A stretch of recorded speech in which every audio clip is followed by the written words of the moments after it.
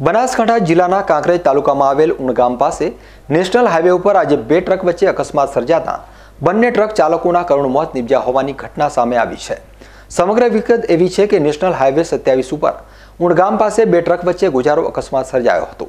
અકસ્માત એટલો ભયંકર હતો કે ટ્રકના કેબિનના ફૂરચે ફૂરચા થઈ ગયા હતા અને બંને ટ્રક ચાલકો કેબિનમાં જ કચડાઈ જતા બંનેના ઘટના સ્થળે જ કરુણ મોત નિપજ્યા હતા. ઘટનાની જાણ થતાં જ આજુબાજુના લોકો અને થરા પોલીસ ઘટના સ્થળે આવી પહોંચી હતી અને બંને મૃતકોની લાશને પીએમ માટે રેફરલ હોસ્પિટલ ખાતે ખસેડી હતી. ઉલ્લેખનીય છે કે બનાસકાંઠા જિલ્લામાં છેલ્લા એક અઠવાડિયાથી અકસ્માતોની વણઝાર ચાલુ છે અને જિલ્લામાં અલગ અલગ જગ્યાએ સર્જાયેલા છ અકસ્માતમાં દસથી વધુ લોકોના મોત નિપજ્યા છે.